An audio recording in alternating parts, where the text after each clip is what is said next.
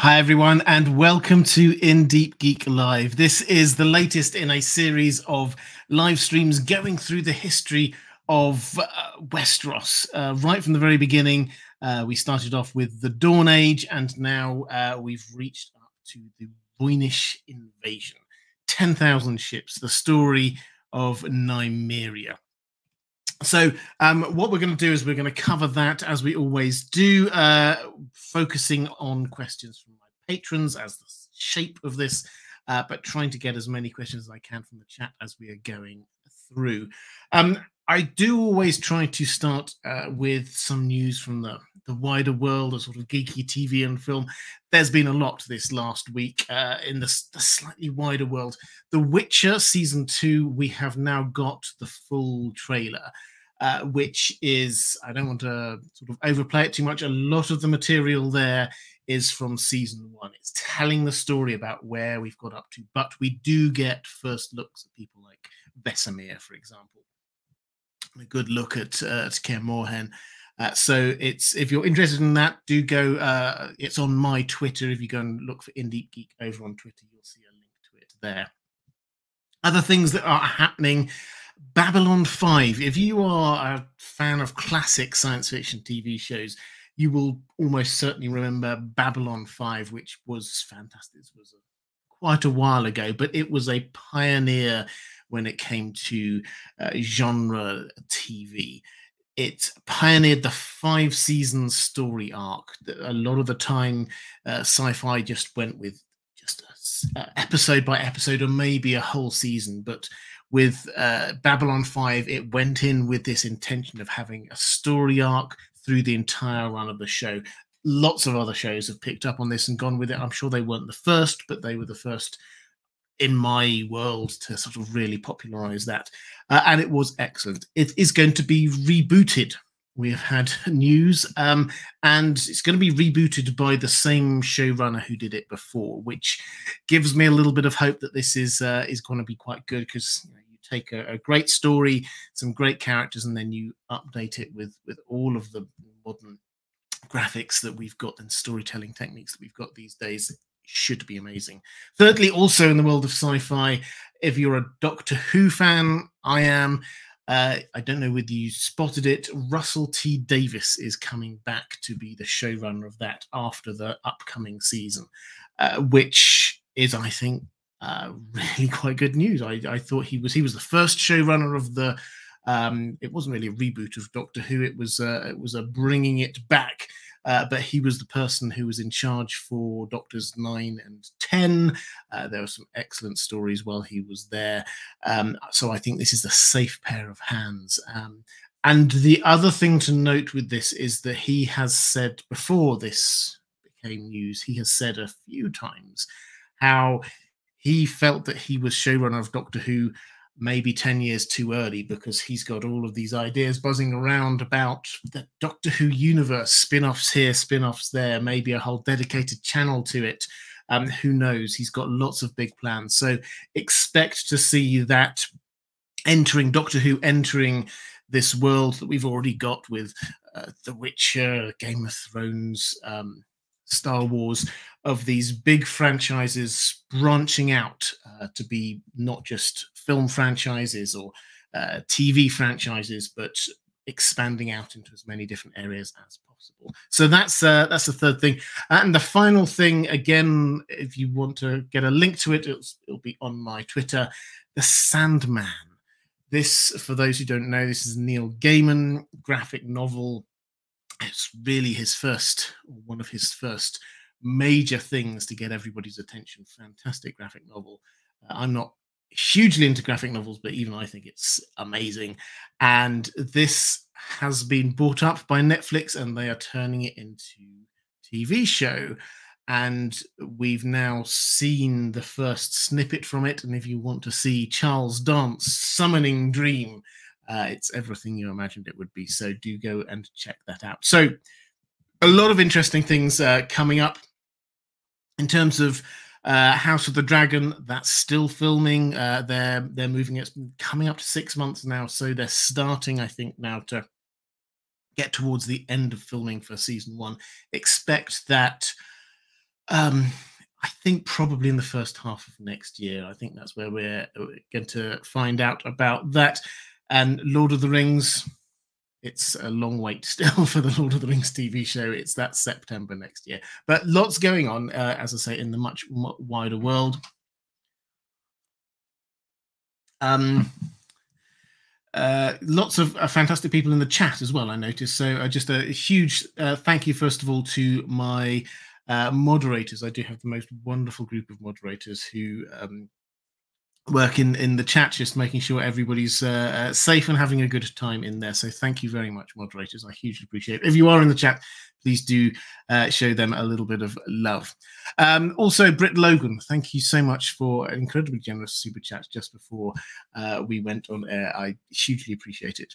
Um, so let's get on to today's subject. Um, and just to kick off, um, Maura Lee, uh, hi Maura, saying, What was the Rhoynar migration all about? And why did Nymeria choose to finally settle in Dorne?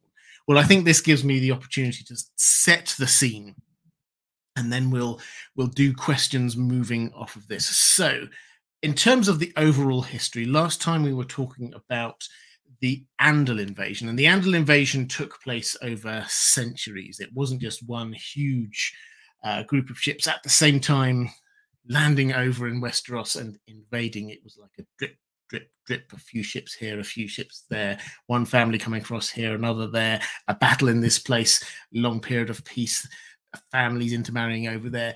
And slowly, slowly, they took over most of what we would now call central Westeros. The north, they did not. The Iron Islands, they did not. Dorne they did not, except for a few families uh, in the north of Dorne. So Dorne at this stage is still largely uh, first men, though with um, an element of uh, the Danes, probably a different ethnicity as well. And having been there, uh, separated off from the west of Westeros for a long time, they have developed their own culture. So Dorne is already feeling very different and is a myriad of small petty kingdoms. So that was the Andal invasion. That was depending on you, who you listen to, that was four, six, eight thousand years ago, or maybe even as few as two thousand years ago. But the Rhoynar Nymeria was 1,000 years before the story we have. So we're moving a lot closer now to uh, to the current time.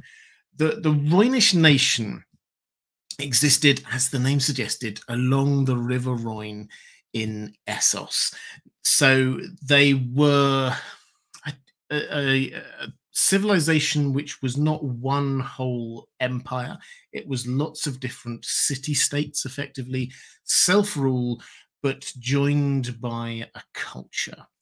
Now, this culture involved uh, worshipping of river gods. We'll come on to that in a moment, but also it was very developed.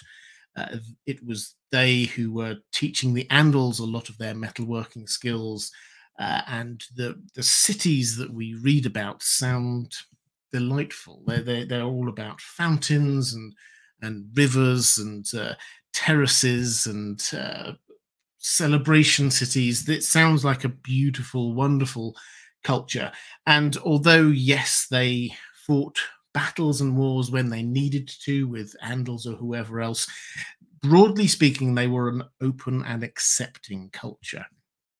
To the extent that when the Valyrians, who were then the rising power over in uh, Essos, they started moving in towards the Rhoyne, the the Rhoynar said there's there's enough of the Rhoyne for all of us. Come, settle, have make make make yourself some trading ports and things.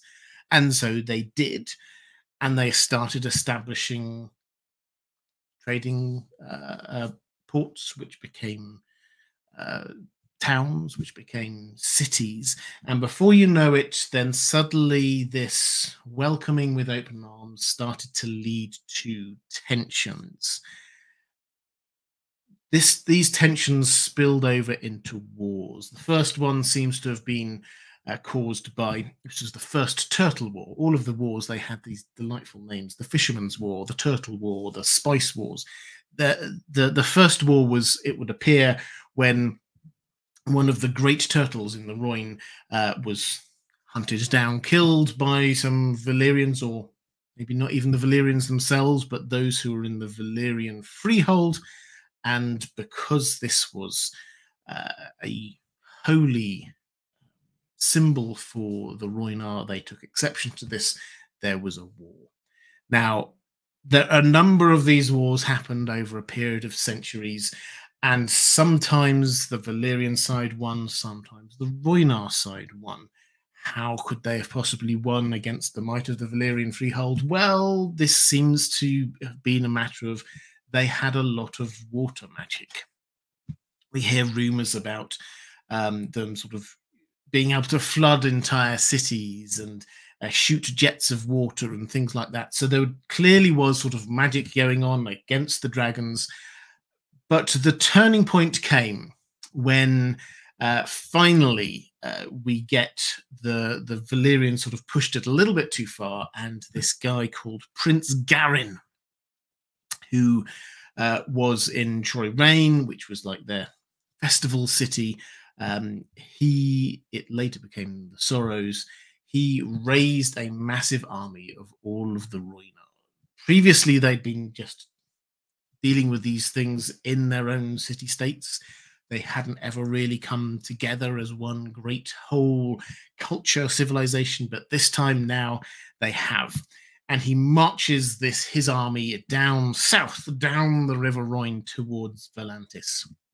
Splits his army into three, one down the west bank, one back down the east bank, one huge navy keeping track down the middle of the Rhoyne, and they were just sweeping everything before them. They, they were winning battle after battle. He became known as Garin the Great. The Rhoynar were loving it. Uh, and eventually the Valyrians had to respond. Three dragons came, attacked the army, and got defeated. Two of them got shot down. A third had to uh, fly away wounded. And then finally, the Valyrian said, Well, this is too great a threat that just has to be dealt with. And they sent apparently 300 dragons. 300 dragons came, and there was nothing that the Rhoynar could do. They just got wiped out. Now, uh, following on from this, uh, the Prince Garin gets captured uh, I've talked before about the story of how he was then put in a cage back in Troy Chroyane. He summoned up uh, the the water gods to uh, wreak revenge upon the Valyrians, and this is where grayscale came from, a huge inundation of water. Many of many and much of the Valyrian army destroyed. Uh, but as far as we're concerned, the the real action occurs even further north of uh, of this further up the river because there was one leader in the the Rhoynar who didn't like this idea of taking on uh, the uh, the Valyrians said that this was a bad idea this is a war we cannot win. And that leader was Princess Nymeria. Now she was proven right.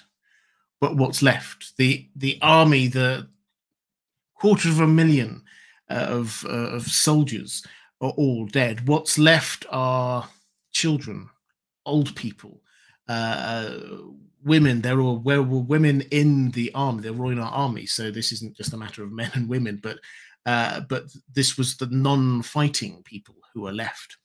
What's she to do? She gathers together all of the people, all of the Rhoynar who are left, and says, "We have to go. We can't. We can't stick around. We cannot face down uh, the uh, the might of the Valyrian Empire. And she says, "Bring all of your boats. Bring all the ships you have. We'll we'll head off."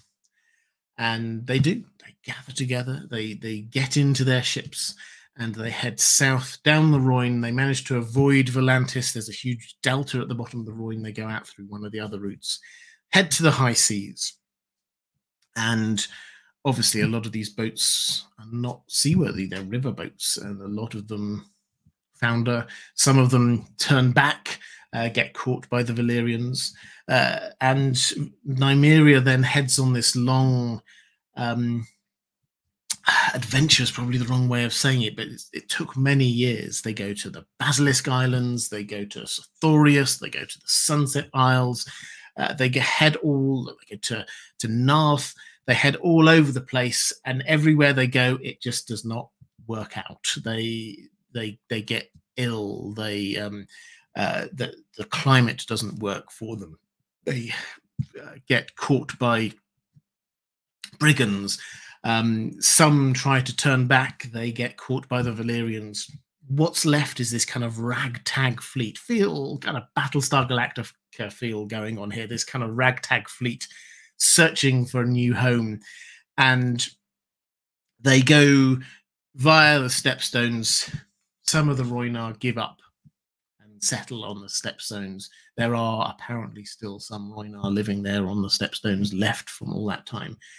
And she arrives at Dorne and they try. They think this is this is our next best, last best hope. They land and she meets uh, the House Martell, Doran Martell. Uh, and um, so the, at the the Martells, she joins with them. She marries in with the Martells, who were at the time one of many um, small petty kings down there in uh, the in Dorne, and she marries in, and her people also marry in with uh, with all of the Martells. From then on, the house is technically called Ni- House Nymeros Martell. We always just shorten it to Martell, but its full name is Nymeros Martell. And then they um, head off across Dorne, taking one again, taking many years one petty kingdom after another, just defeating them until they are rulers over all of Dorne. The couple of things to note she burns the ships so they can't go back. Um, she tries to integrate as much as is possible, so the Dornish take on a, a lot of the uh, the Rhoynar culture, uh, but the integration is not complete. There are some who are left behind by it all. so that's the story that's that's the the overarching narrative that we've got. And i should probably say at this point uh, if you don't know this is one of those bits of westerosi history that they are considering hbo are considering developing for a tv show. And when i say considering it's um it's in early pre-production. They've uh, they've got a few people working on it. It's not been commissioned yet. Uh, the only one, still the only thing that's being commissioned is uh, is House of the Dragon. Uh, but this is one of the front runners, and it seems to be something they're quite keen on. So we don't know any more than that, but that will be the story they will be telling. Uh, Henry Cavill, thank you very much for the uh, super sticker. I hugely appreciate that. Um, Question from Roman Lakovets saying, uh, "Do you think George R. R. Martin named Rhoyne after either the Rhine or the Rhone, which are two rivers in Western Europe? It sounds too similar to be a coincidence." Um, yeah, I mean, I think he probably took inspiration from it. I mean, both uh, both the Rhine and the Rhone are big rivers. Um, uh, I don't I don't think he said specifically one way or the other. I don't think the culture is specifically um, based on the cultures who are around there in, in sort of either of those two rivers. But uh, yeah, it's certainly that there's a name echo going on there. Um, Richard McCarthy saying, I think the story of the, uh, Nymeria ties into the same kind of misremembered myth in classical history, ships were always almost always burned before battles. Yeah, I'll get onto the, the ship burning in just a moment. Um, in terms of the myth thing, I think it's probably worth just picking up here. R. Martin uh, is very clear that the early years, the early ages of Westeros and Essos, the stories we get are myths. We shouldn't believe the truth of them exactly.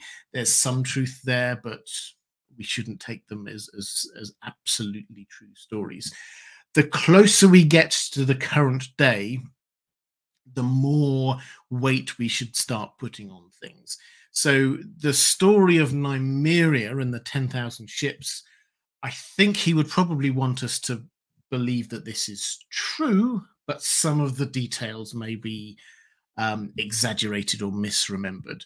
And in the world of Ice and Fire, the Maesters particularly pick up on the number 10,000. This is a this seems a very large number. This seems that nobody actually counted. So it just seems like a, a, a, handy number for people. So the idea that there was exactly 10,000 ships, probably not right. There probably were a lot of ships. Quite a few of them were lost or turned back before they made it to Dorne. So by the time they got there, certainly there were a lot fewer than that. Um, but it's probably worth pointing out that when they arrived at Dorne, they they set off with a lot of children, but they had, and people who were not battle hardened. Uh, but by the time they arrived at Dorne, everybody was battle hardened to a degree, and the children had grown up and were then at fighting age. So although they seem to have left without a, a, a sort of a fighting force, by the time they arrived in Dorne, they were actually quite uh, an impressive fighting force, and there was. Um, uh, they also had superior technology. They had really good weapons and armor, which was where the Martells could see a, a way into this. Um, okay, let's go to a question from Ben. What is this is over on a Patreon? What is the faith of Dorne? As they weren't conquered by the Andals, so they wouldn't be so faithful to the Seven. So the, the faith. Um, well, we'll start with the faith of the Rhoynar. The faith of the Rhoynar when they were on the River Rhoyne uh, was that they worshipped a series of river gods. Now, the greatest of these was Mother Rhoyne, uh, Mother Rhoyne was the river itself. They viewed that as their mother, the life giving um, mother, the river. This was what their entire culture was based around. Um, and then there were other smaller gods. Uh, so the, the, giant turtles, for example, they were they, they were children of the Mother Rhoyne. And uh, there was also the Crab King, who was like the bad guy, the opposition to the turtles. So they had lots of these kind of they they worshipped the river and they worshipped the denizens of the river, and it's this kind of bridge from the very ancient kind of anthropomorphized bits of nature to uh, a cultural religion where the river as a whole becomes uh, the the the mother religious godlike figure. So that was the religion that they brought with them. When they arrived in West, in Westeros in Dorne, clearly the River Rhoyne wasn't there anymore. So this left them with a little bit of a, a religious conundrum, so to speak. Some, and I, we can talk about these um, uh, in a little bit, but some never never moved on. That's probably an unfair way of saying it, but they stuck to their religion, they stuck to their culture. They did not wish to intermarry with the Dornish. They found uh, the Greenblood River, and which is the biggest river there in Dorne, and they just tried to replicate their lifestyle on a new river. They continued to um, worship the old Rhoynish gods and it, the, the name orphans comes from the fact that they they've lost their mother. They've lost mother Rhoyne so um, there is a there is some who still keep hold of the old Rhoynish religion.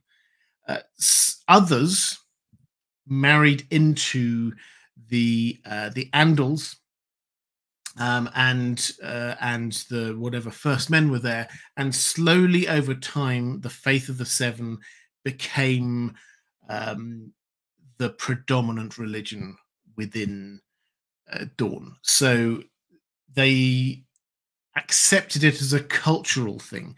But Dorne as a whole is probably the most ethnically diverse part of the entire Seven Kingdoms, has to be said. So when we don't just talk about there being a religion of Dorne, there are lots. There will be still some who would follow the first men effectively. There will be some who follow the Rhoynish gods. There are some who follow the gods of the Andals. Who knows what House Dayne uh, support and worship? So there's a lot of different cultures and there's a lots of different uh, religions. Um, question from Sebastian Zumala. I hope that that's pronounced correctly. Saying greetings from Poland. Loving what you do. Thank you. Uh, my question is about the Rhoynar and their magic. In your Bloodraven video, you mentioned that Azor Ahai's Tar- Azor Ahai Targaryen's bloodline was manipulated by Brynden Rivers. What we get is pure Valyrian, but with elements of the most magical ethnicity groups. One of those groups is the Rhoynar through Nymeros Martell. You then mentioned the Rhoynar water magic. Could you tell us more about their magic and how did they use it? So, happy to. Well, there's two elements there. Um, the the sort of the, the bit about the manipulation of the family tree. This is something you'd probably have to go back to my videos on on Bloodraven to see through the whole logic. I, I, I had a video called something along the lines of um, the magical bloodline of Azor Ahai, but it seemed very clear to me, still does, that one of the things that Bloodraven did when he had control was to get a very clear line um, uh, for the Targaryens that had specific bits of of magical genetics fed into it, if that kind of makes sense. So he wanted uh, to make sure that he had the Starks and the Targaryens um, together. This is where Jon Snow came from. But if you look back through the actual the line of kings, the line that ends down with uh, Rhaegar and goes up through Aerys II and so on, all the way up, you'll see that they pick up on just a few families. The Targaryens intermarry with a lot of different families, but on that specific um, line of pedigree, I think they call it um, uh, in the genealogical world. If you look through that specific line, then they only have certain very specific magical um, inputs. House Blackwood are there, House Martell are there, for example. So this is, it seems deliberate so that's that. Do go and have a look at that video if you're interested.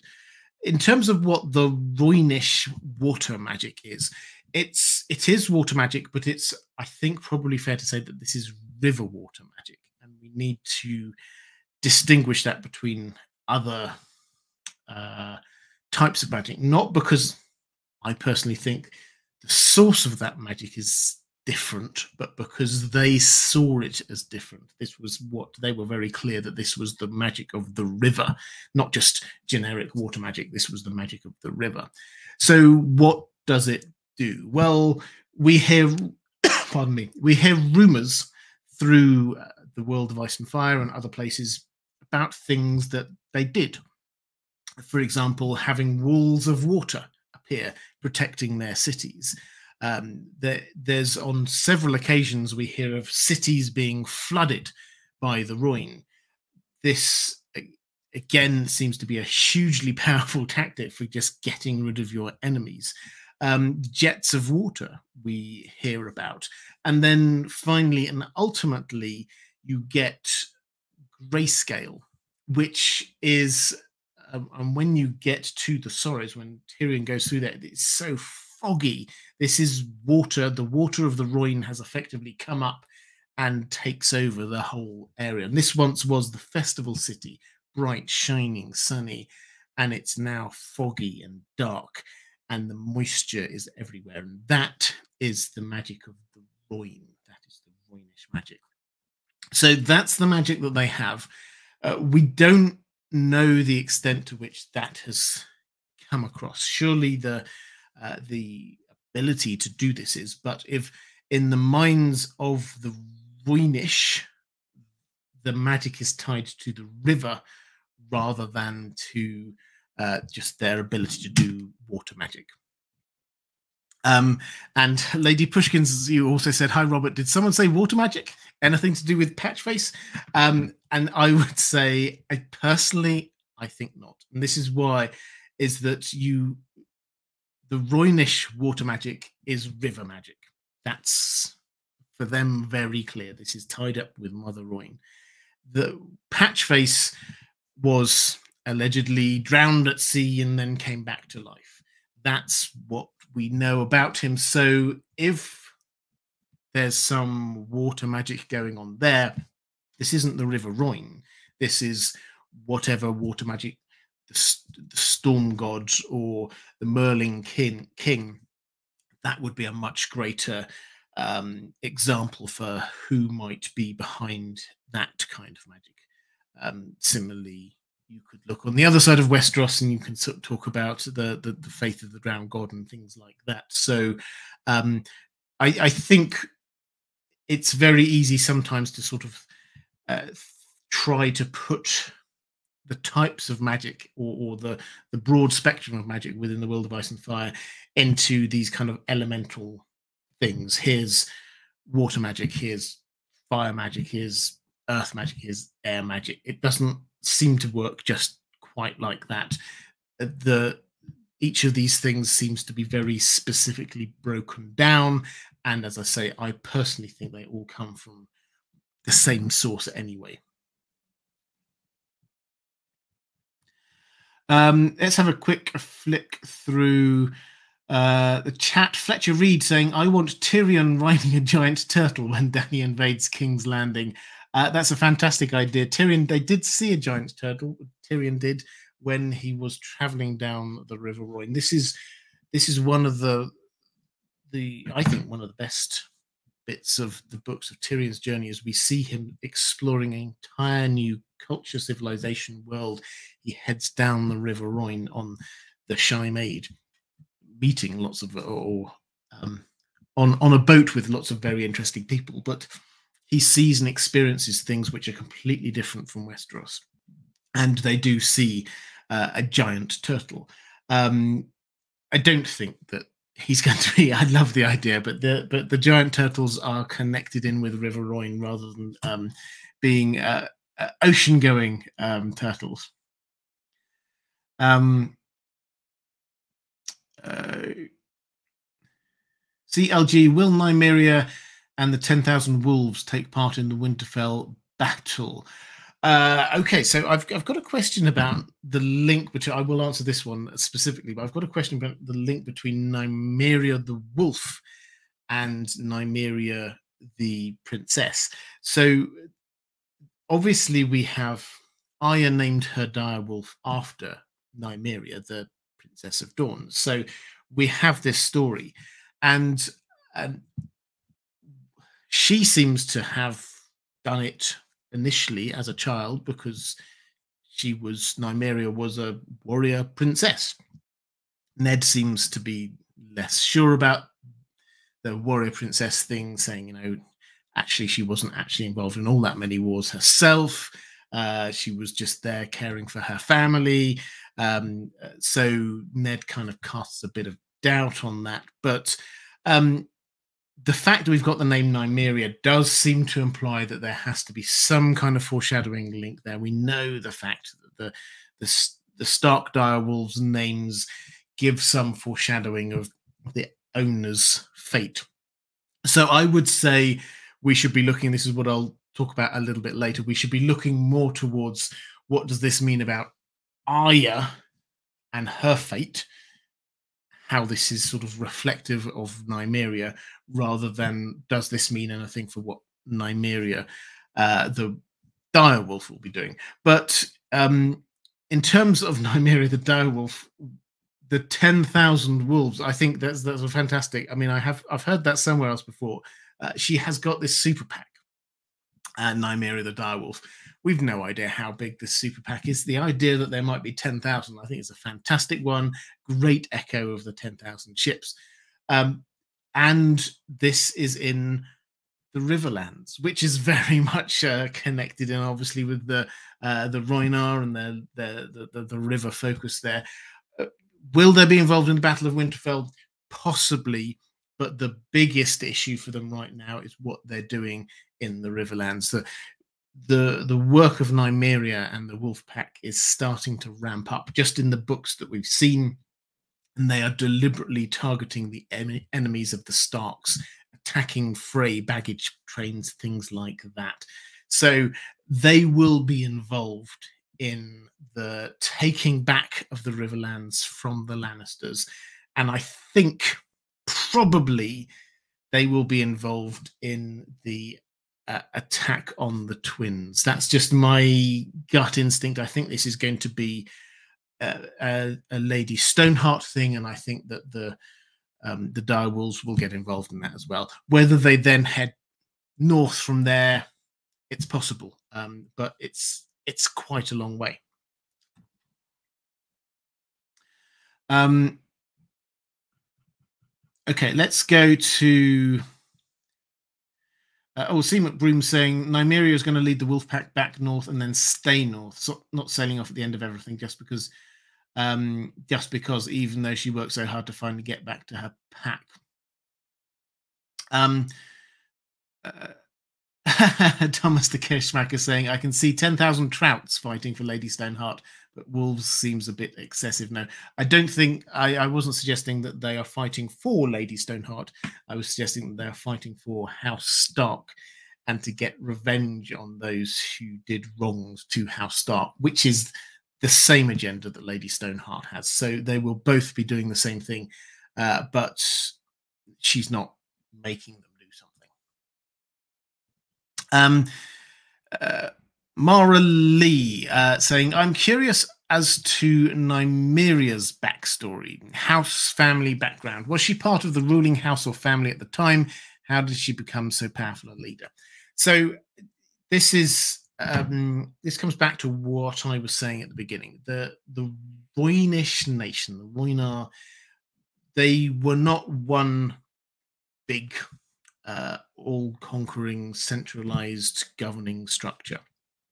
They were a lot, effectively, a lot of city-states and individuals who went up and down the River Rhoyne, but they had a unifying culture, unified by the river. Now, Nymeria was based up in the Upper Rhoyne, and she ruled over one of the cities up there. And so uh, the the Rhoynish had this a lot more egalitarian approach to inheritance, which has come across to Dorne. Uh, so they it didn't matter to them the gender of the person who uh, who inherited it. It was just the firstborn. So they had princes and princesses um, uh, because they were city states effectively rather than kingdoms or empires. Uh, so she was in charge of one of these city states. And uh, th- that's uh, her family. We don't really read about specifically what her house was. Um, but I think the clear implication, given the fact that she arrived and immediately could marry into the Martells, uh, that if she had previously been married, then she lost her husband um, in the war. That hundreds of thousands died there. She just took the people who were left, who um, I mean, I'm sure a few of the soldiers survived, but the vast majority of the people that she took not just hers, uh, her city state uh, citizens, but whoever was left uh, alive, children, old, young, um, uh, the, the ragtag fleet. Um, Lyle Hammack saying, No question, just a thank you for your great content. I will be listening as I head to work. Uh, well, thank you very much indeed. I hope you have a safe trip. Um, question from Ken McKenzie saying, uh, Hello, Robert. Wanted to say thank you for so much great content while I recovered from the virus this week. I'm all right. I'm very pleased to hear that. Uh, curious if you will cover Nymeria's time in Sothoryos. Uh, Yin is fascinating.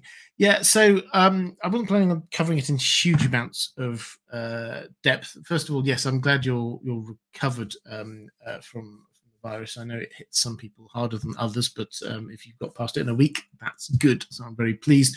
Um, the what they the, Sothoryos was uh, second place. They tried the Basilisk Islands and then Sothoryos, uh, the second place that this fleet arrived at.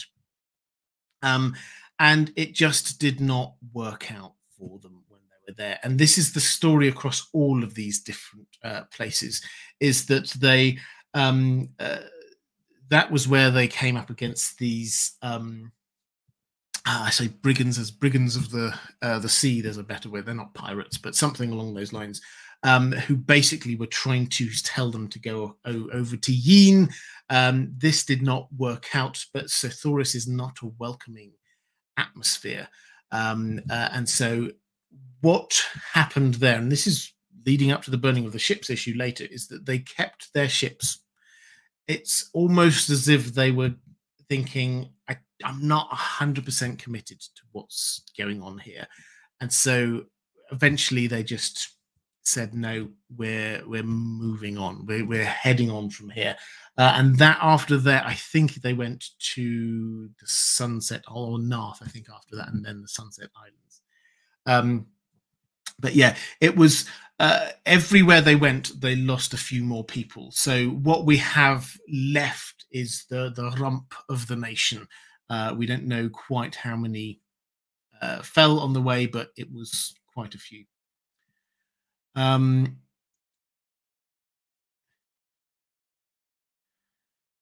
uh, Austin Flowers say, "What's a pirate's favorite letter of the alphabet?" I'm gonna guess R. Um, uh, question: uh, David Dine, uh, Dimo saying a little off topic, but do you know what happened to the shadow of Stannis after Melisandre gave birth to it? Uh, is it stuck in the castle? She said there was old magic there. Um, I think it, I, I think it probably once it's, it's done what it needed to do, it disappeared. I don't think we've heard anything since then um, in of Storm's End of there being a a shadow still lurking around. Uh, so no, I think it was just a it was a one shot thing. Um, uh, Kolnitsky saying, uh, thank you for the super chat, saying, is it time to switch to the Dune content? Um, uh, the Dune, I love Dune. Dune's a fantastic story. Um, I've not, I've not read it for a, quite a while, and I've had to prioritize things, um, as I'm sure you understand. Um, so I've decided I'm, I'm not going to personally cover Dune. Um, I will just appreciate it. There are some things I like to just watch and appreciate just as a fan um, without sitting um, scribbling down notes. I mean, it makes it sound like a, a, woe is me. I mean, I love doing what I do, uh, but uh, yeah, it's a very different experience when I know that I'm going to be creating a, a video on something. I do have to be watching it with a critical eye and scribbling things down and pausing and rewinding and things like that. Uh, with Dune, I just want to watch it. I just want enjoy it. It looks spectacular from um, all of the um, the trailer footage that I've seen. Um, uh, in terms of where to go for Dune content, I recommend you go to Quinn's Ideas. He's he's been uh, the big, as far as I can see, the big channel covering Dune for the last at least two years, if not more. Um, and he does excellent videos. So please do go and check out Quinn's Ideas. Um, uh, reflective rambling. I've missed a super chat. Uh, apologies from Caius Ballerina saying, uh, "Were the Rhoynar for or against slavery? They were against slavery, so they didn't have um, uh, they didn't have slaves. They were uh, they became slaves in the um, the Valyrian Empire afterwards. So um, no, they were they were anti-slavery and coming across to Westeros, they they stuck with that. It's actually it's quite a noticeable thing that in in Westeros slavery, apart from the Iron Islands, who they don't call it slavery, but effectively they they do have that. Um, slavery's never, none of the main groups of people, the First Men, the Andals, or uh, the Rhoynar, none of them were um, slave driven cultures, uh, which means that when the Valyrians came across, when House Targaryen came across, they didn't come across to a culture where slavery was already there. So, whereas historically they may well have been um, slave um, traders and owners, there wasn't that culture there, and they that made it easier just to not do it. So um, yeah, no. The, the the short answer is no. The Rhoynar were not um, uh, part of a sort of a slave culture. Um, quick. Um, see if I, see, see if I've missed any more uh, questions in the chat. Uh, I think I haven't. I think I've caught up on that one. Um, uh, uh, Lam Royce, William Royce saying the Rhoynar had the princes and princesses as their highest rank. Uh, yes, that's uh, that's the way it was. So they had, they didn't have an overarching king or queen or emperor or empress. The highest rank they had was prince or princess. And that was one of the many things that they took across into the culture in Dorne. Uh, a few people saying uh, that they've seen Dune. I would love to know in the chat if it's if it's as good as it uh, as it looks as it's going to be. Um, do do, uh, do tell me. Uh, and the real uh, YT saying thank you. I just subscribed to Quinn's ideas. Well, good. I'm very pleased to hear that. Um, right, a question from um, Maura Lee saying we know that later Nymeria married Davos Dayne. Uh, but how and when did she meet up with him and become the then the founder of House Dayne? I've always been curious about this mysterious house's backstory, so any information you can give us would be fabulous and will also help to shed some more light on this house and its beginnings. Um, uh, okay, so uh, in terms of uh, the Daynes, I, I think I've got another question on the the Daynes in a moment. Um, yeah, actually, let's I'll tie this question in, if that's okay, with one from Catherine Furseth saying, Hi, Robert. Um, as always, thanks for an interesting lineup of live stream topics. I was curious about House Dayne's role during the Nymeria Martell War to conquer Dorne. I understand that Vorian Dayne was one of six defeated kings sent to the wall after Nymeria's final victory. Did House Dayne then switch allegiance and fight for Nymeria and the Martells? Nymeria even married a Davos Dayne later, so the relationship to House Dayne must have been a close one. Also, why was Vorian Dayne called the Sword of the Evening, uh, not of the morning? Okay, so a lot of questions going on in there. Let me try and uh, uh, unpick all of these.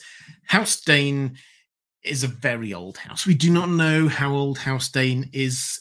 Thousands of years old. The the legend that we have of them following this shooting star, which uh, came meteorite crashed down Starfall, the island, uh, and from that they forged the great sword Dawn. Um, this seems to have been thousands and thousands of years ago, perhaps the Dawn Age, uh, before the Age of Heroes. So House Dayne were well established um, for thousands of years by the time that um, the the, the um, Rhoynar came into Dorne. But if you think of your map of Dorne right over at the far western edge, that's where they are. And they were kings. They were one of many petty kings. Uh, they were the kings of the Torrentine, I think, which was the river that uh, Starfall is in the uh, the mouth of, uh, the estuary of. So that is what they were for thousands of years. They were kings of their area. Then, when we get Nymeria, who came in and uh, with the Martells took on one after this is over many many years took on all of these small petty kings across Dorne one after another she took them all on Um, eventually, she came to House Dayne. She took on House Dayne, um, and the Daynes lost. Now, the result of this was that uh, Vorian Dayne, who was the king, he got sent to the wall. This is a fascinating thing. We, we covered this a couple of times just in passing. But uh, this is a fascinating thing that the wall, this is a thousand years ago, all the way as far down south as Dorne, this was still a practice to send people up to the wall. Uh, so, anyway, Vorian Dayne got sent up to the wall. We don't know the exact relationship uh, between um, him and um, uh, Davos Dayne. Perhaps that was his son. We do not know. But later, much later, her third husband was Davos Dayne, who was dashing, we're told. So uh, the the offspring of that then became the the the line of House Dayne. So that's where we get this kind of uh, uh input from from the House Nymeros Martell into House Dayne, and House Dane came then even before the intermarriage they they supported uh, Nymeria in the rest of the conquest of Dorne, and the rest of the conquest of Dorne was mostly with the, the final house to hold out, the House Ironwood. House Ironwood, based in the north of Dorne, uh, right up towards the mountains, uh, and they held out for a long time, and before finally, and Nymeria herself accepted uh, the bending of the knee of House Ironwood. And this is why House Ironwood is probably the second biggest, most strong and powerful house in, Dorne because they they they hung they hung on for for the longest. They were they had the biggest kingdom that was there um, in Dorne. So that's a sort of the history. Then, as I say, a few years later, after uh, we get Nymeria um, married um, someone from House Uller, um, and then married um, into House Dayne.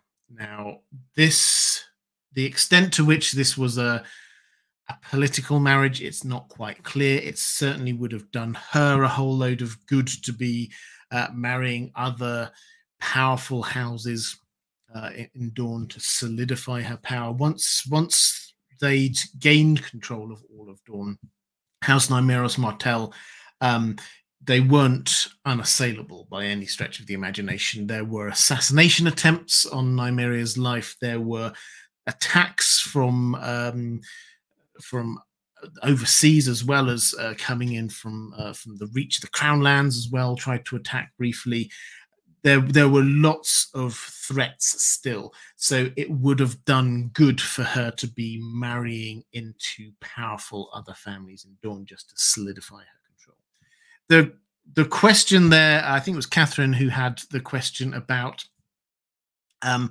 vorian dayne who was the king uh, of house dayne who got sent up to the wall why was he called the sword of the evening not the sword of the morning? Well we're we're not given a definitive answer to this one, so I don't think uh, we can say for sure, particularly because we do not know the timing of this, whether he was always known as the Sword of the Evening, whether um, he only became known as the Sword of the Evening afterwards. If it's the latter, it kind of makes sense because he was the last Dayne king. So for them, there this was the evening of uh, the end of the day for House Dayne are no longer kings. So it would make sense if he got nicknamed the Sword of the Evening. Maybe there's some other cool story going on there. Maybe he was a, um, sort of a bad guy and didn't want to be the, called the Sword of the, the Morning. Maybe he chose it for himself. We do not know, but that would be pure speculation uh, we do not have huge amounts of information about him. As I say, the thing that makes most sense to me is this is something which was retrospectively given to him as a recognition of the fact that he was the last Dayne king. And uh, when we get Davos Dayne, the person who married Nymeria a bit later. He again is Sword of the Morning. So this seems to have been a one-off. Um, and then we go back to being Swords of the Morning. Um, Carl Karsnark saying, Why are all the rulers of Dorne so seemingly sickly and weak? Uh, is it always a ploy? Um, well, a lot of them are. It's quite interesting. Yes, yeah, so Doran Martell clearly is. Um, Nymeria didn't give that impression. Um, uh, but the um, uh, I'm just trying to think what her nickname was. It the Yellow Toad? I can't remember the uh, the the Princess of Dorne who was there when there was the Targaryen invasion. Uh, she lived to a ripe old age, but was not particularly well. So, is it? Are, are they always unwell as a political point? I think that they were happy for it to be a political ploy. Uh, Dorne does appear to be somewhere that does engage in a reasonable degree of politics. It has to be said, um, but um, it perhaps shows um, I mean, I don't. It might be reading slightly too much into this, but the more egalitarian, the more open approach that we do have within Dorne means that you have both male and female ru- rulers. Therefore, the very macho approach, and I don't think there's any other way of saying it, that that, that is there in across most of the rest of Westeros. Just think of Tywin Lannister. Just think of the Iron Islanders. the uh, huge amounts of the time there's this very uh, patriarchal um, uh, we might today call it toxic masculinity uh, figure there heading up houses. That wasn't always the case down in Dorne because sometimes it was a man sometimes it was a woman in charge. And so perhaps that meant that there was no need to have this uh, strong uh, approach to say to show I'm personally having to lead all of the forces into battle. That's one thing which is clearly different uh, between Dorne and the rest of the, uh, the Seven Kingdoms. Is that the ruler of Dorne that it doesn't necessarily have to be the greatest fighter. Doesn't necessarily have to be the person at the front of the battle uh, all the time. Whereas in Westeros, the rest of Westeros, it is often the case. As I say, that's might be reading too much into it, but um, uh, it, it, it's a theory I, have had going on uh, for a while. Um,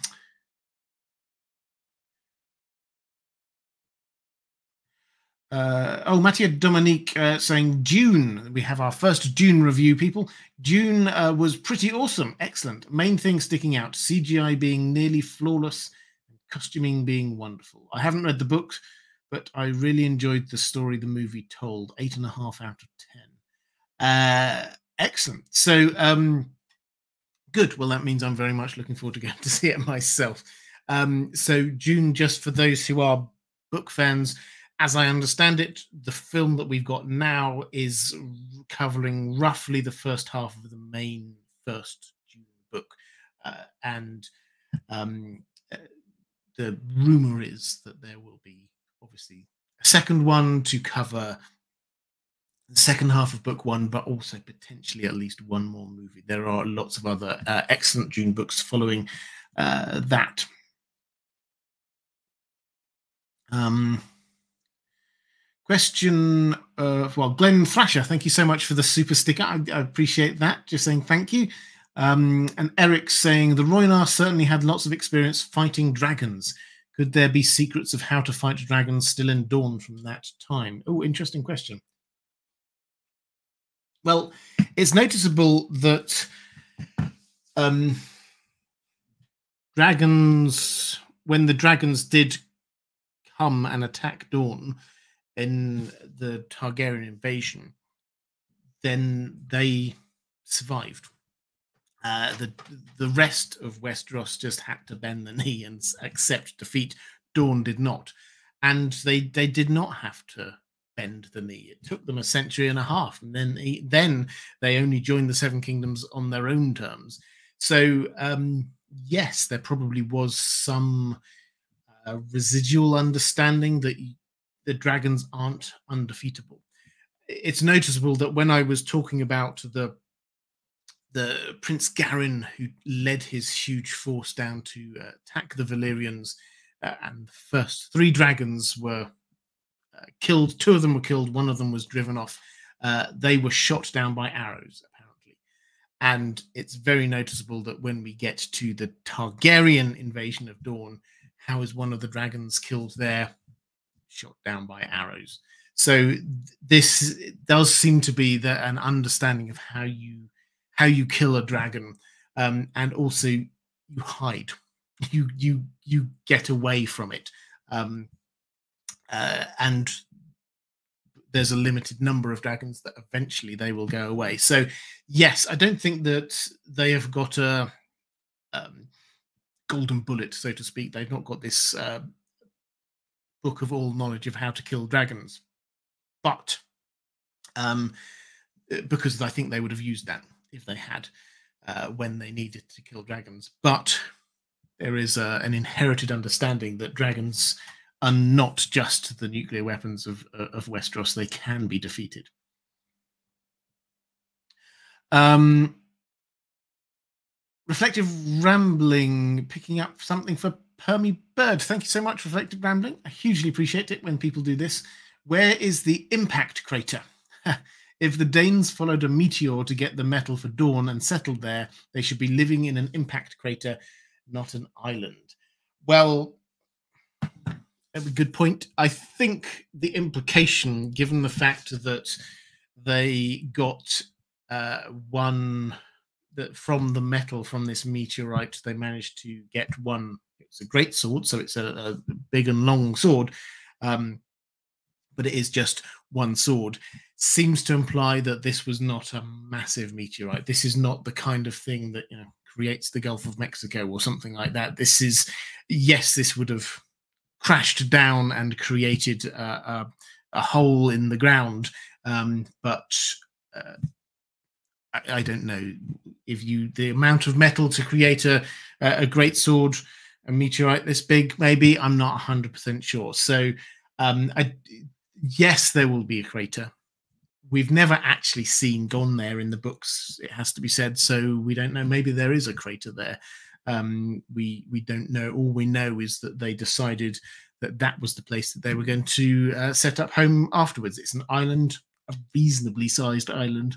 So maybe there's a crater somewhere there, and elsewhere there's the uh, the buildings.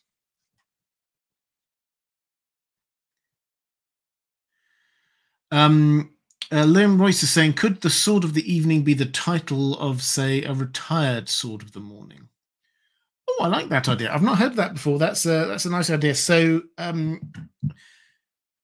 when we when we have Vorian Grey, the Sword of the Evening, he goes up to the wall. The question is, what what do you what, what do you do with the sword? Does he leave it down and Starfall? Does he take it with him? I personally think it's most likely, given how important that sword is to House Dayne, that he decided that he probably would have left it down in Starfall. He probably would have left it there. He would have gone up himself and effectively, therefore, retired as the Sword of the Morning. So the idea that maybe then they gave him the honorific of the Sword of the Evening because you know, maybe they gave him another sword. I don't know. Um, that that that works for me. I like it. I mean, I think this is sort of an extra level to that he was the last king. Um, but uh, yeah, it's a it's a nice idea. Um, question from Cloaked One, picking up. Thank you, Cloaked One, picking up for uh, Mimi eight ninety, saying, "Hi Robert, love your content. I often wonder about Nymeria's age." How old was she when she left her home and when she came to Dorne? Well, we don't know. Uh, we're not told. Uh, she was queen of, oh, not queen. She was princess of her city state when um, the war started. And uh, then she gathered together her peoples and then she set off. She has to have been old enough at that point to um, have expressed an opinion about the pointlessness of her attack on um, the the Valyrians, and also I would suspect to be calling people to her and, and have as much of a charismatic influence to persuade people to follow her. So, I mean, she must have been relatively young, but still old enough. So I don't know, maybe 20 something along those lines in the world of uh, ice and fire. Then some people have greatness thrust upon them quite young. Robb, for example, 15, 16. Uh, he's actually, that's the age at which he becomes uh, king of the north, king in the north. So maybe Nymeria was around that age. In any event, when she got, she spent several years traveling, then several years um, uh, attacking and invading and taking over Dorne, Uh, and then uh, by that time, she'd got herself through one husband, and then she had uh, another husband who then died, uh, and then had a third husband, and she had a child with that third husband. So they, I mean, if she's still of uh, childbearing years, shall we say, third husband in, she has to have been relatively young um, when she set out. Um, I think I'm talking myself around to the idea that she probably was around 15, 16 at that uh, at the early point, um, which makes her when she arrives uh, in in Dorne, uh, 20 early 20s. By the time she's finished uh, attacking and invading across the piece, then 30s, uh, 30ish that's the kind of uh, age that we're looking at. And then she had uh, a long life uh, ahead of her as uh, Princess of Dorne. Um, Bear Island Josh saying large impact craters here often form a lake with an island in the middle. Okay, good knowledge. Uh, thank you very much. So uh, maybe that's maybe that's what happened. Um, uh, da Vinci Memes, thank you very much uh, for that kind comment as well. Okay. Uh, Mondo Man Devout saying, Can someone please tell me how long the live streams typically last, just so I can plan if I should uh, work now or wait? Um, typically, uh, I, I tend to aim for two hours and rarely achieve it. Um, it does depend on the topic. Today, I'm going to try and keep it to around two hours. So um, uh, that means we've probably got about another three quarters of an hour to go.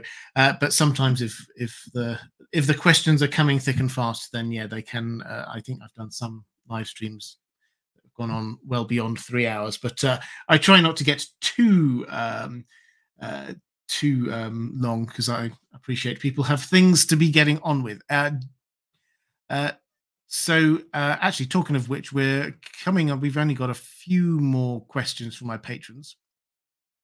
Um, uh, Alejandro Martinez saying, "Hello, Robert. This is first time, my first time asking a question as a new patron. I'm so excited. Well, welcome to Patreon. This is, in fact, it's a perfect opportunity for me to uh, just to say, if you do wish to support this channel, the best way to do this is to join my Patreon. There's a link down." Uh, in uh, possibly in the description. I'm not sure whether I've put it there yet, but I'm sure if you're watching live, there will be a moderator dropping a link in chat uh, now. Um, as a as a patron, you get certain benefits. One of those benefits is having priority questions here for live streams. So uh, patrons, thank you. I always thank you. I always mean it. It's your support is genuinely the thing which allows me to devote the time uh, to this. Um, uh, so thank you very much. Um, actually, while I'm on it, I was reminded during the week there's uh, my merch. I rarely, rarely mention my merch because I always forget. If you'd like some In Deep Geek merch, there's a link down below here. Um, two things to say about that. Uh, the first is I, I, believe there is a sale on at the moment. Um, I, I, go through Spreadshop, Spreadshirt. Uh, so um, the I think it's 15% off if you buy t-shirts and things like that at the moment. So do go and check them out if you're interested.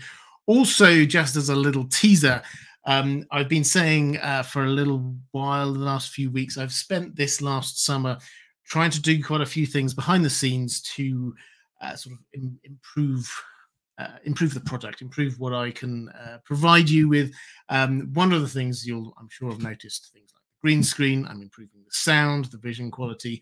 Um, I've also been doing a little bit of rebranding behind the scenes as well. So at some point in the next two or three weeks, there will be some shiny new branding, which I'm very excited about. So if you're if you're a big fan of the the classic in Deep Geek logo, uh, now is possibly your last chance to get the merch. So anyway, uh, if you're interested in that, do go uh, and do that. And I, I'm sure it will be at least another year before I remember to plug the merch again. Um, Chaos Ballerina um, saying for Austin Flowers, is Rhoynar magic similar to the magic of the Children of the Forest that brought down the Hammer of the Waters? Now, this is an interesting one. Um, so the the children of the forest's magic of the hammer of the waters doesn't seem to work with a lot of the rest of the magic that we've got. It's very earth based. It's very uh, Westeros based, not sea based. So the the hammer of the waters itself. I mean, you can sort of put that as a slightly anachronistic somewhere. Um, you can explain it and say yes this is absolutely fine uh, the children of the forest have got are in touch with nature and so there's of course they've got they can do water maybe they can create an earthquake which causes a tidal wave you can explain it away in many many ways uh, but the the magic of the the Rhoynar is river magic. Um, it's connected with the river uh, uh, so it is separate. The thing which is similar is the fact that both of them they can drown places. So the what happened with the Hammer of the Waters seems to, um, if there was a land bridge and then that got turned into islands, that feels um, more than just like here's a whole load of water gushing over it, because then the water would wash away and the land bridge would stay there but this appears more of like a, an actual hammer just banging down on it, cr- cracking the land as as it were. So that's the feel we've got with the Hammer of the Waters. The with River Rhoyne, this we get it's more like the river just sort of like um, imagine if you, if you will that scene from the Lord of the Rings, the Fellowship of the Ring, uh, where you get Frodo, who's got across just to Rivendell on the far side of the river, and the Black Riders are there, and then you get the the river crashing down, washing them away. It's that feel, but on a much grander scale. And I should say, I don't think I said it uh, so far in this stream. The River Rhoyne. Don't think of your local river with the River Rhoyne. The River Rhoyne is massive. At the sort of towards the bottom of the River Rhoyne, uh, Tyrion's there in a boat in the middle of it, and he looks both ways and he can't see the shore either way. This is it is a river, but it is huge. This it's it's ginormous. It's uh, I, I've not not seen uh, personally rivers like the, the the Amazon or something like that, but compared to some rivers I have seen, like the Nile or the Ganges, it, it feels even even larger than them this is a massive, massive river. So if you can have the power of that whole river just rushing down, that is absolutely massive. So it's the same feel, uh, but whereas what happens with the River Rhoyne is it seems to sort of destroy cities. What happened with the Hammer of the Water is it destroyed land, which is another level entirely. Um, so, yeah, they're similar, but um, of different scales, I would personally argue. Um, I think I was just actually I was starting starting from uh, before I went off onto uh, talking about a Patreon. Um, I was starting with a question from Alejandro Martinez. Uh, saying, I've always appreciated how George R. R. Martin made Essos so culturally and ethnically diverse. I know the plight of Rhoynar brought them, the Rhoynar brought them to Dorne, and those that didn't fully assimilate remain orphans. But do we know of any Essosi with Rhoynish ancestry who are left in Essos? I believe Yandri and Ysilla were orphans who returned home. Um, uh, I had a similar question for the Andals live stream, but never got around to posting. Uh, the books point out that there are many Essosi with Valyrian heritage. Does, does the same hold true for the Rhoynar and the Andals? It probably matters little to the story, but I find it fascinating nonetheless. So yeah, I think it is fascinating. Uh, the with the the Rhoynar, what we have, I think, are um, the story I told was the high level story we have an army destroyed and anyone who wasn't in the army escapes. That's the high level story. Outside of that, it gets complicated. Obviously, gets complicated because uh, Prince Garin wasn't the only one who got captured. Many of the the army of the Rhoynar got captured. They became enslaved by the Valyrians. Some uh, we're, we're not really told of any great numbers, but some inevitably will have decided to stay, uh, not go with Nymeria. There will be some who have just hung around the River Rhine, particularly when you get further north into the tributaries. Uh, there's um, some will have hung around. We hear at least a couple of times when people turned back on the voyages that they got uh, that were that took um, Nymeria and the ships the long trip all the way across to Dorne that people did turn back, and they largely again got caught by the Valyrians. So, and then when they did get across to Dorne, you have the orphans of the Greenblood, um, and they want to go to go back. They can't. The ships got burned but some do seem to get there. So um, you you name checked uh, a couple there, um, uh, Yandri and Ysilla, who were the captains of the Shy Maid, the boat which took um, young Griff and Tyrion and all the rest of them down the River Rhoyne. They were orphans who came across back to the River Rhoyne. So we're not told of a particular exodus, but it makes sense that they weren't the only ones who did that. We're not told that they're unique in this. So what we actually have is a lot more mixed picture for the Rhoynar of the people who are probably still stayed there, some who came back later, quite a few who got captured and enslaved by the Valyrians, this means that there will be a lot of people with Rhoynish hereditary there because they didn't they wouldn't die out. What there isn't though are any of the Rhoynish cities. They are all destroyed. Tyrion goes sees them as he's going past on on the river. They uh, they are not just not there anymore. They got completely decimated by the Valyrians. So the culture is not there, other than a few people living on the sides of the river. We see a few there. Uh, the the massive culture is not there, but there will be lots of people who retain the ethnicity.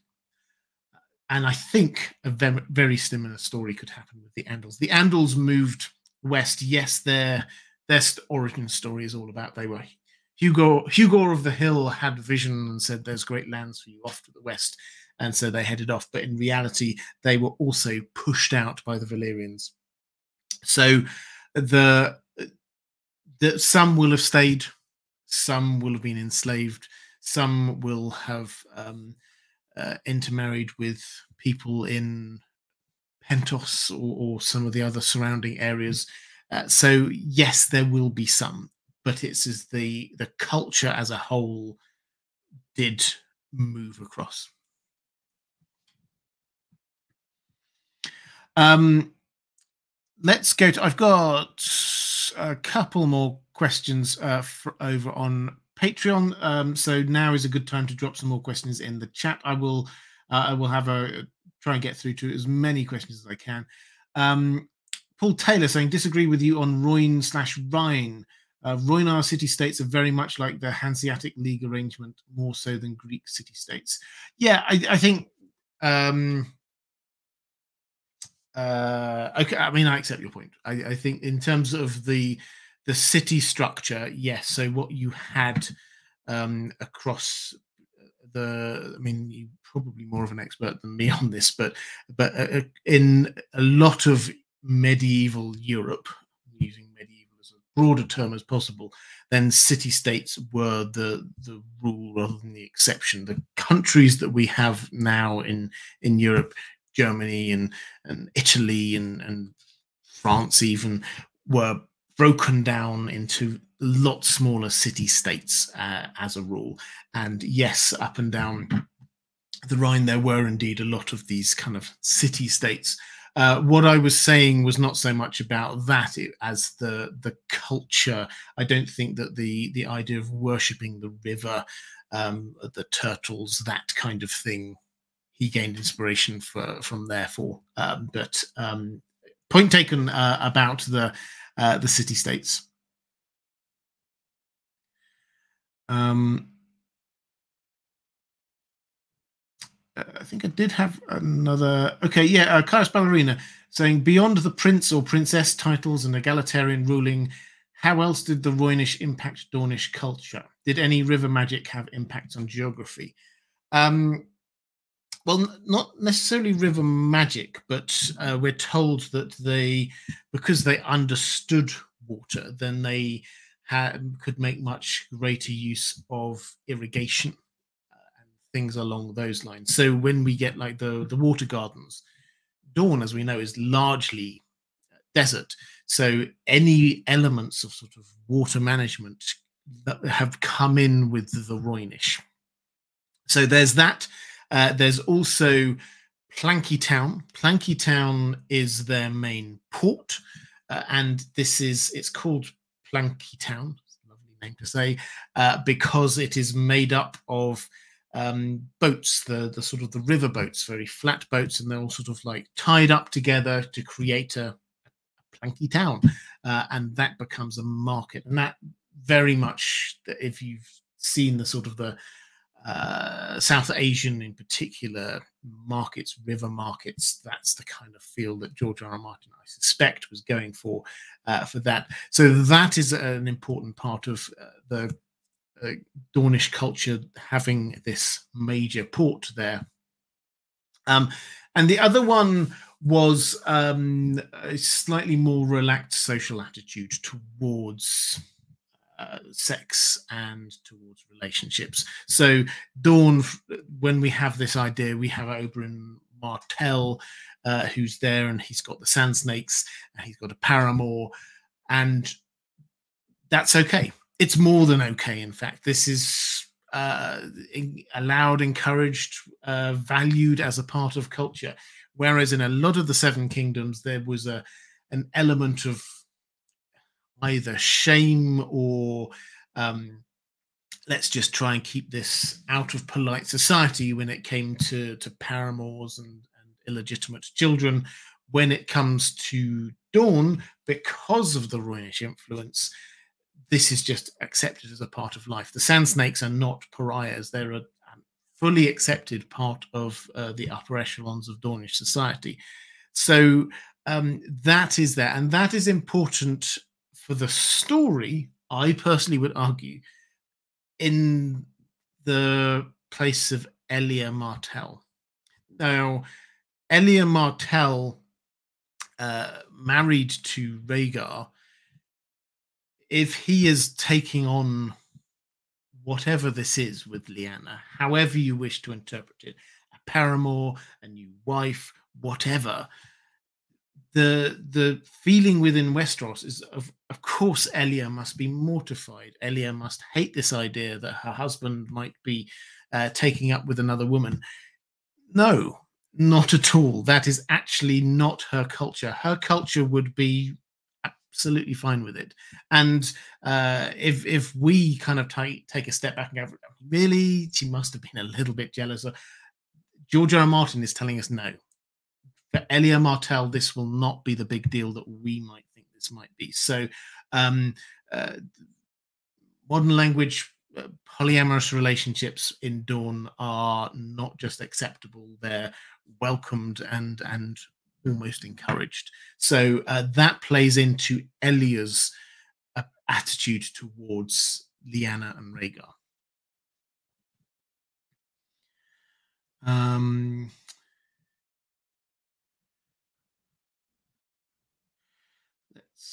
question from uh, E. Marty saying, off topic. um, have you heard Alt Shift X's Tyrion rap? Have I heard his Tyrion rap? It's good. Um, which character do you think you would uh, rap uh, off? I came up with Bloodraven. Uh, Bloodraven did it.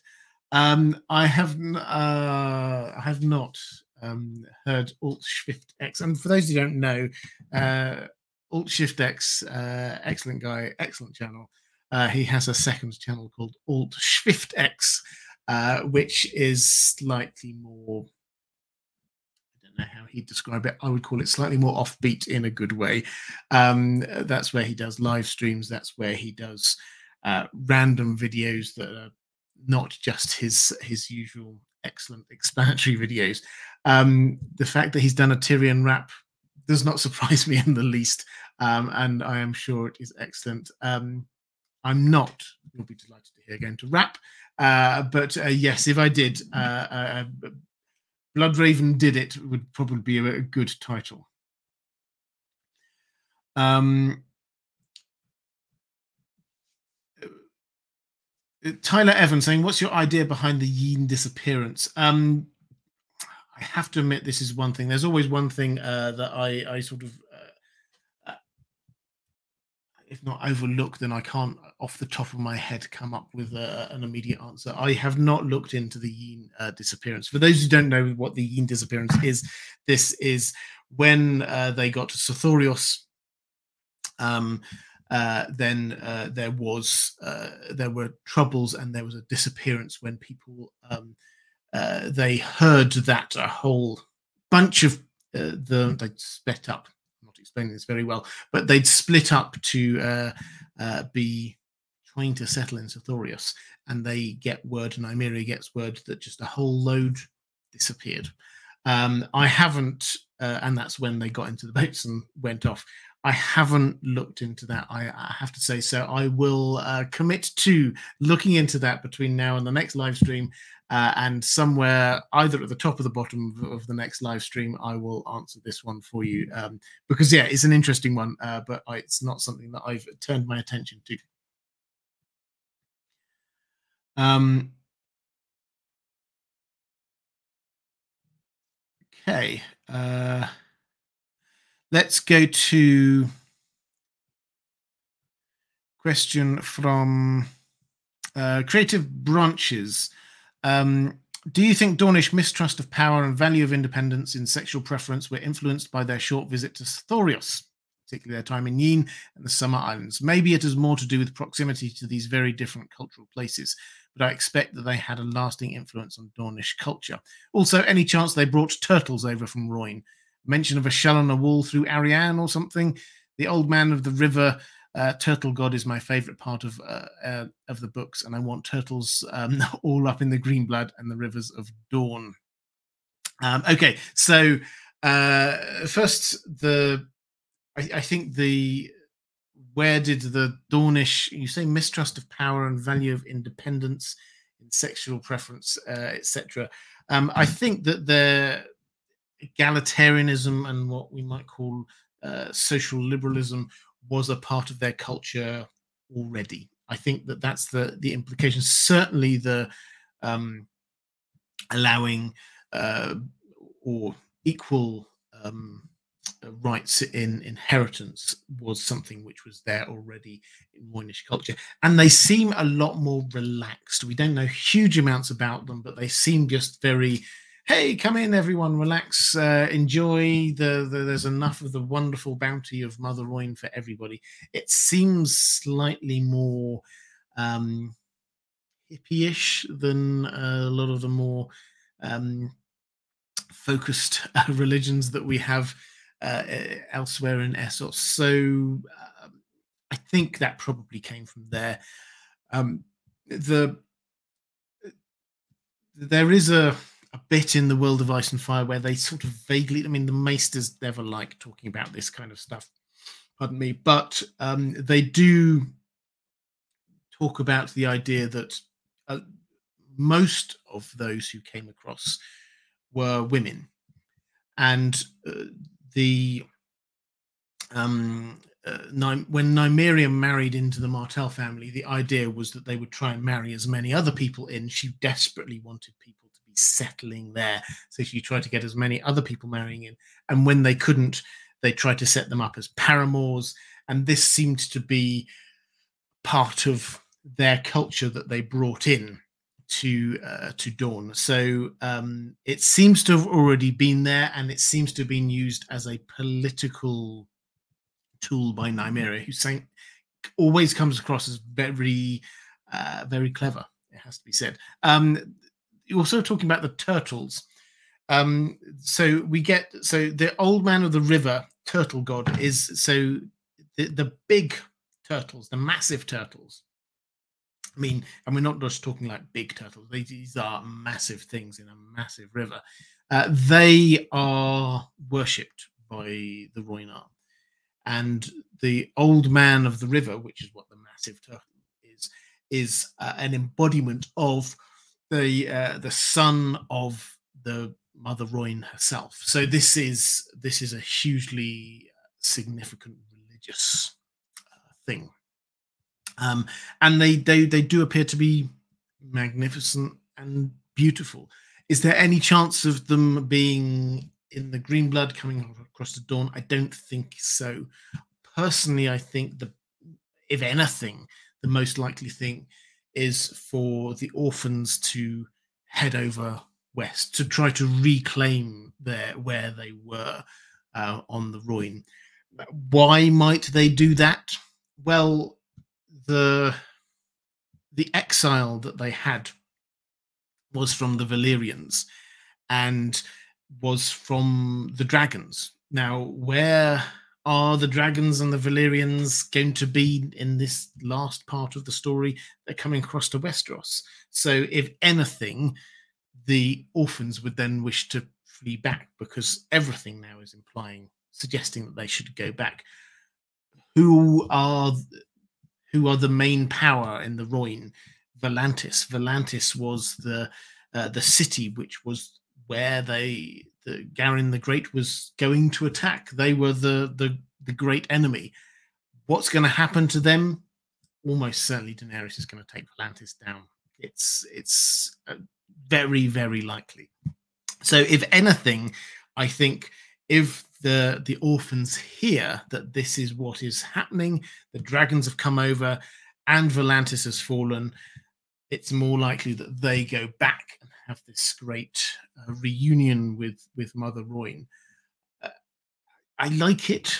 Uh, I don't know whether we'll actually see it. Uh, it might be a thing we just hear the sort of rumors of in the background, uh, but it would be really good, wouldn't it? The, the the this people, this displaced people who've retained their culture all this time, the orphans finally returning home when they can, um, and perhaps they. I, mean, I don't know this again. This is just like, wouldn't it be great if perhaps once they have returned, they can then lift the curse of Garin. Maybe that could be the end of grayscale. Um, question from uh, Cloaked One. Thank you very much. Picking up for EP. Do you think the Rhoynar get some inspiration from Carthage? Um, you're stretching my historical knowledge here. I think. Um, no, I'm going to pass on that one this time. I, will I'll only I'll only honestly answer questions that I feel I can add some value to. Um, uh, ancient Carthage, uh, quite possibly, is my instinct, but uh, let me come back on that one. So that's two. I'm coming back on next time. Uh, sometimes I have one, but uh, two. Okay. Um, Mr. E. Knight, how does the story's conclusion involve Dorne, if at all? In the rebuilding phase post Long Night, does Dorne get involved or remain isolated? Um, well, in terms of the conclusion where Dorne is going next is that they're going to be tying themselves in my take with the um, Aegon Fagon Aegon the Sixth invasion. The the short reasons for this is that this is Doran Martell's always and forever plan is to marry himself in with the Targaryens. Uh, but also, he has sent um, Arianne over there to go and check out what's going on uh, with this guy, Aegon. And he's going to find that his son, who he sent off to check out what was going on with Daenerys, his bones are going to come back. Uh, and his bones are going to come back. We know this is going to happen because Barristan said, "I'll, I'll send, I'll send the bones back." um, out of respect. Barristan always uh, very right and proper, but perhaps not always the wisest. Um, he's he's going to send the bones back effectively with like a, a little note attached to them saying, uh, "Your son came over to meet Daenerys." Offered to take a hand in marriage. She rejected him. She married someone else. Uh, and then she flew off in a dragon, and we don't know where she is. Uh, and here's your son's bones. Uh, all of which the he's not Doran isn't going to want to side with Daenerys. Uh, he will side with uh, Fagon. So that's where House Dorne is going to, or that's where House Martell and uh, Dorne as a whole is going to be shifting their weight behind Fagon. Uh, so that's where their main role is going to be. Don't forget about House Dayne and Dawn, the Sword of Dawn. That is going to come in probably through Darkstar. That is going to come into King's Landing, that route. In terms of after all of this, where does Dorne go? Well, we're not going to see, I, am pretty sure we're not going to see all of the aftermath of everything, but Dorne will retain its culture. Uh, it will probably retain some degree of independence. Maybe we will see who takes over afterwards. We've got a lot of people who potentially could take over afterwards. Um, yes, we we've already lost one of Doran's children. We've got another one, even if she uh, doesn't survive, then we've got a huge amount of sand snakes who could be taking over. So I think that there are lots of people there who could who could take over. Um, the there are two threats taking this at a meta level, there are two threats to Westeros. This is the song of ice and fire. Ice is attacking from the north, and fire is attacking from the east. Um, the ice almost certainly won't reach down as far as Dorne. Um, I suspect they will get below Winterfell on the show. I know they got only got as far as Winterfell, but that's quite a measly little invasion if that's all they get to. I suspect they may come down as far as the Riverlands or something like that in the books. Um, but in uh, the the dragons, they're going to be fighting in and around the center of Westeros. But are they going to attack Dorne? I mean, only if George R. R. Martin wishes us to to have an echo of that original Targaryen invasion of of three dragons attacking Dorne, uh, the Aegon and his sisters attacking Dorne. I think Dorne will survive, is what I'm saying. I don't think that it's going to be destroyed by this. I think they will just carry on as they were before. Um, uh, Toto95, the 10,000 ships. I thought Indie Geek kind of forgot about the Nymerian fleet. I don't think I did, but um, uh, yes, 10,000 ships. That's. Um, uh, that's what the subject of this is about. Uh, Gibber Dole saying, What does the name Nymeria have to do with Arya? Uh, well, the name Nymeria um, is known throughout the Seven Kingdoms. She's very famous. As a child, uh, then Arya, as she was a child at the time, she chose uh, a, the name of a what she considered to be a warrior princess because that's what how she she effectively she's a princess of the north. She's not got the title princess, but she was growing up in House Stark, uh, and she viewed herself quite rightly as a fighter. So she named her uh, direwolf after one of her heroes. So that's what the the link is. I will come on. I've got a question specifically about the name Nymeria and the link across to the direwolf in a moment. So I'll pick up on a little bit more of that uh, a little bit later. Um, Creative Branch is saying, "I love challenging Robert with tinfoil." Well, you you you did it. Um, the Turtle God, uh, yeah, it's not coming to not coming to Westeros. Um, Cloaked One picking up for C McBroom. Uh, what can Rhoynish history tell us about the story now? Will the Martell survive like Nymeria did, or is her symbolism mainly for Arya's arc, in your opinion? I think her symbolism is mainly for Arya's arc. Um, but in terms of the the Rhoynish history, tell us about the story. With will the Martell survive like the um uh, like uh, Nymeria did?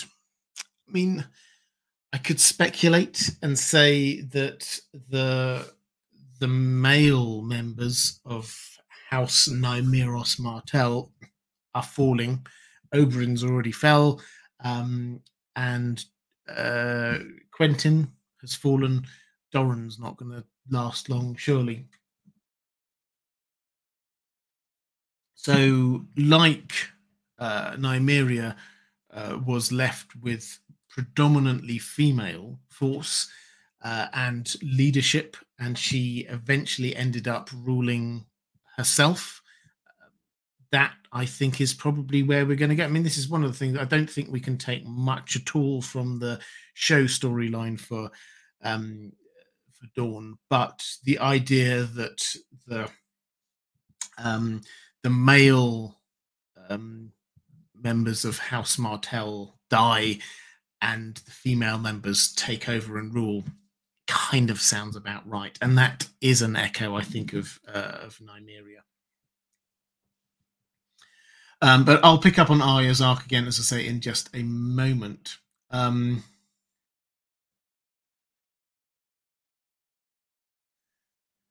uh, duh, duh, duh.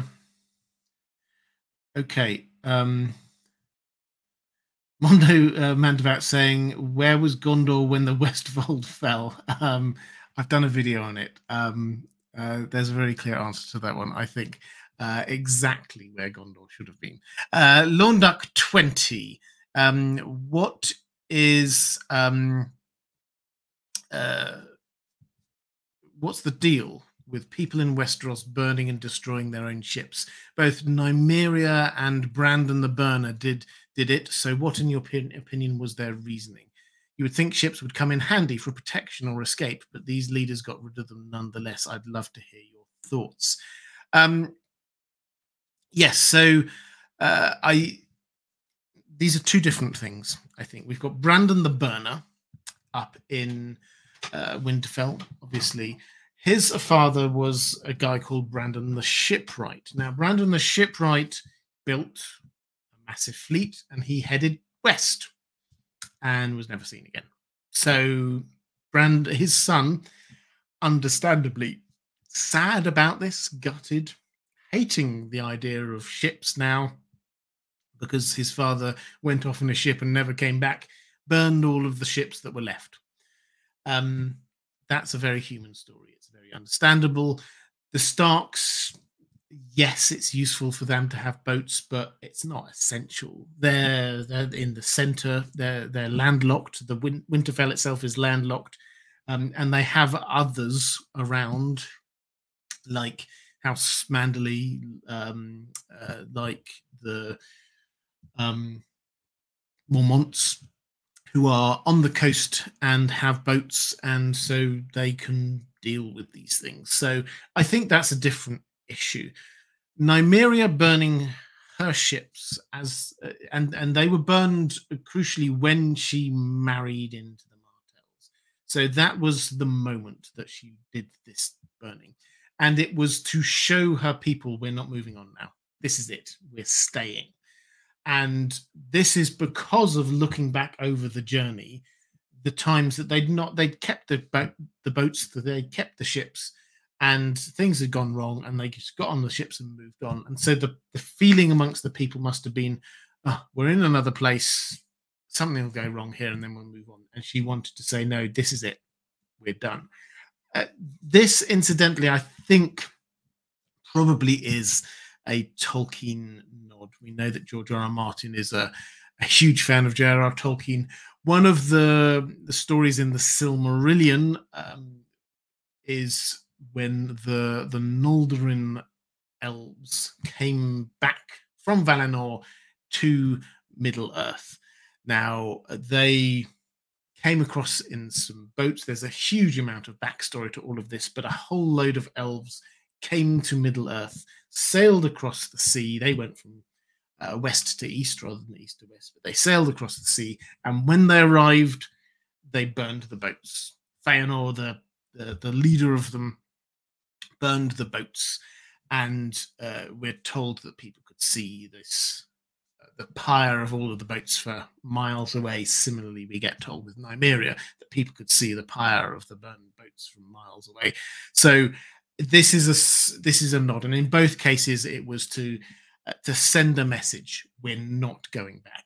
We're, we're we're staying here now. This is this is it. This is absolute. So I think um, I think there was a nod there to Tolkien. I think that there's a different situation going on there um, uh, with uh, Brandon the Burner.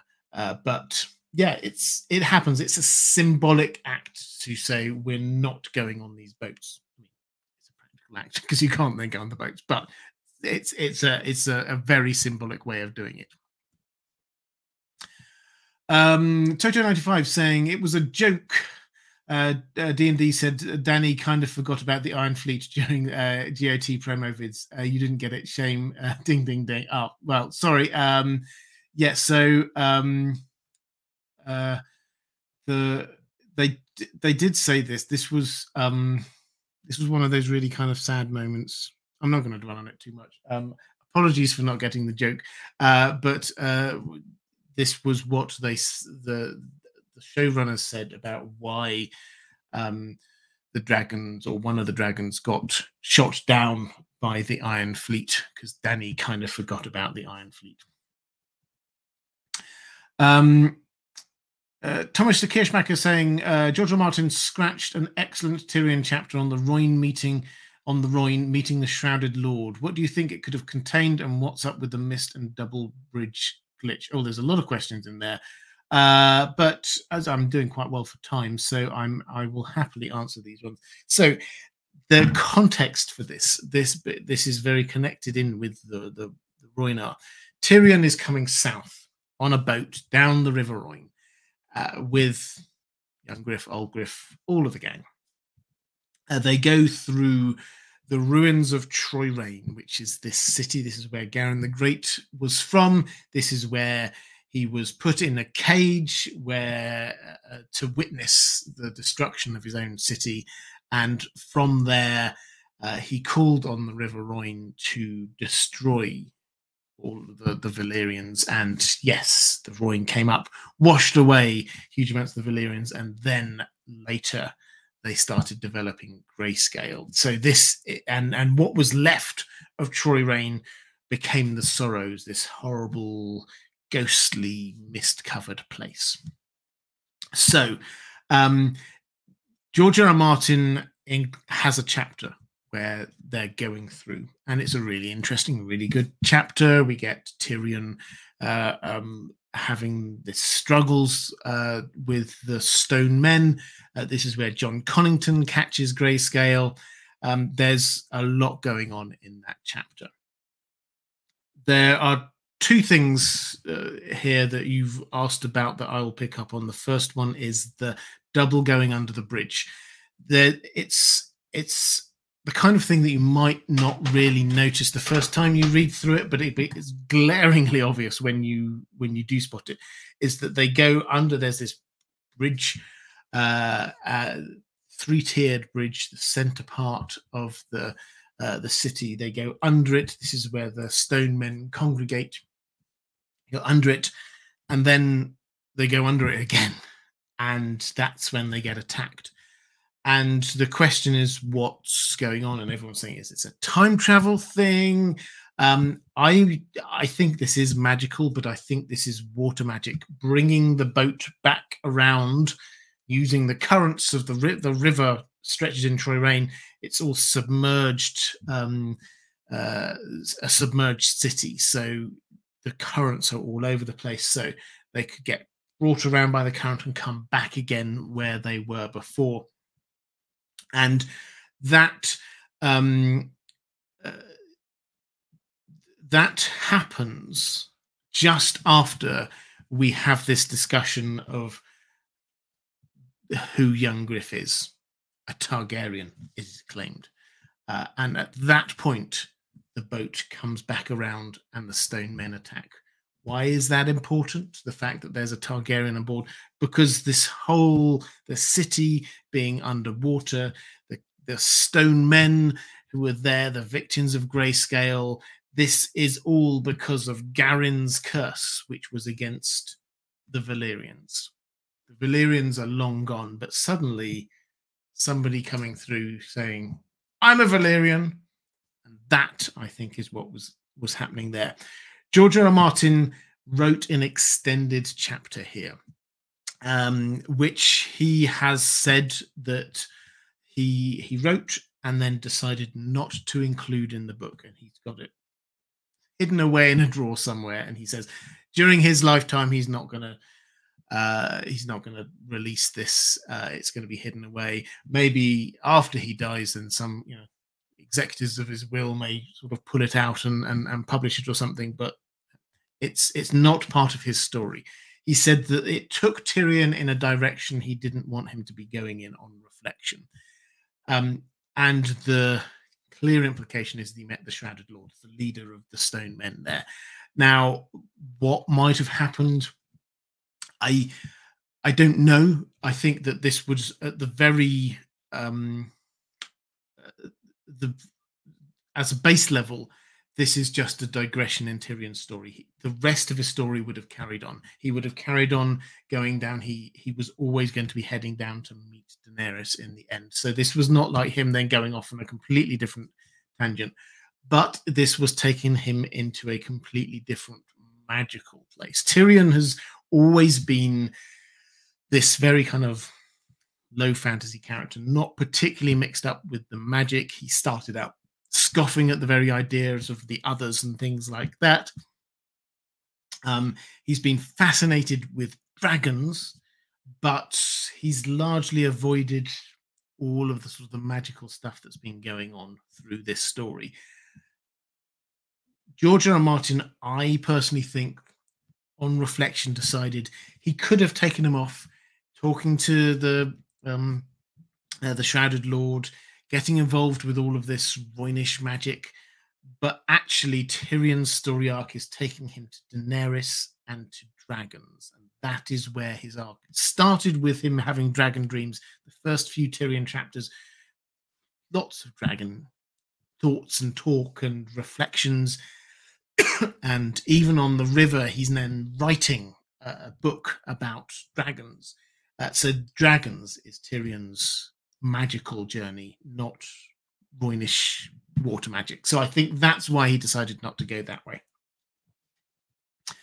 Um,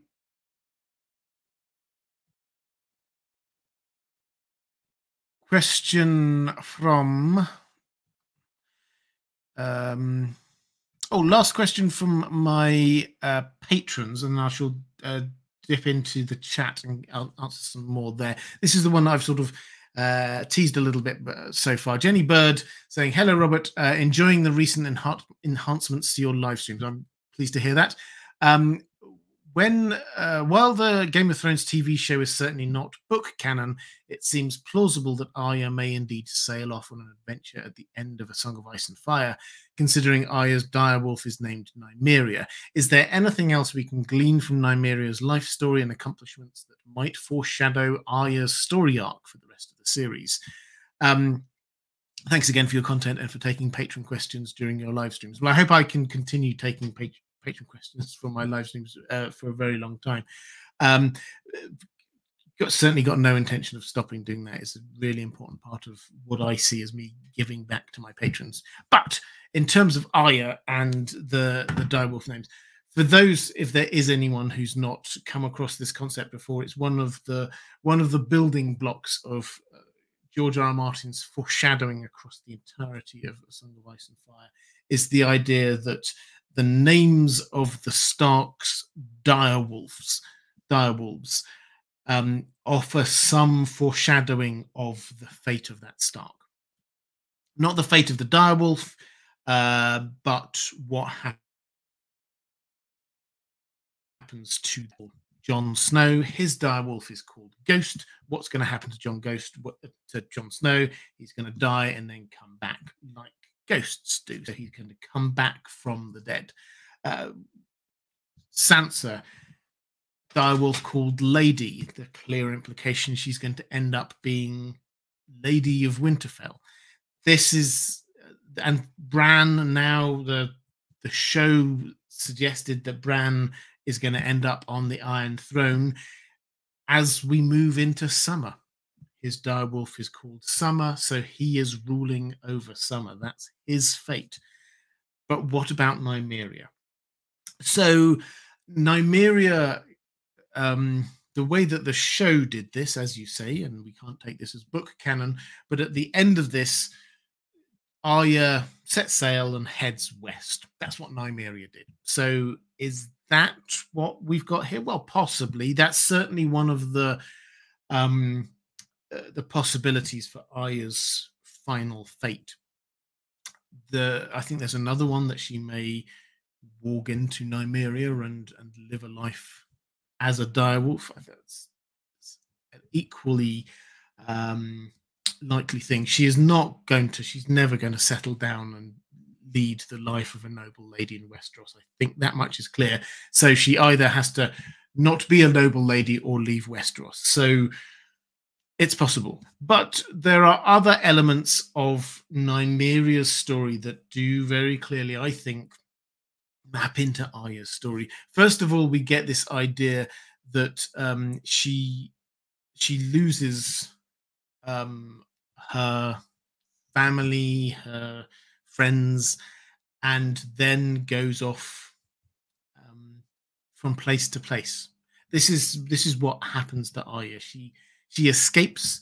She heads off into the Riverlands. She goes all around the Riverlands. Then she goes. To, she's going to head off to Braavos, away from her actual home. All of this is being away from her actual home.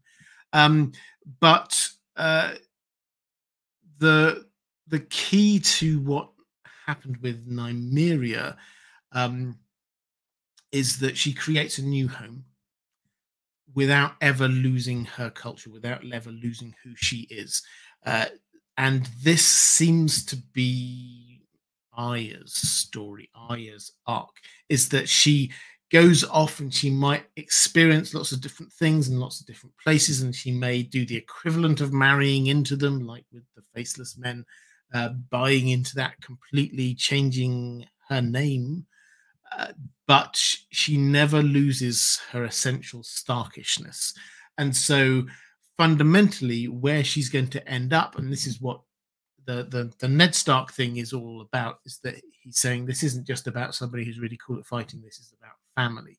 Um, so she will never ultimately abandon her family. She's going to look after them. She's going to fight for them all the way through to the end.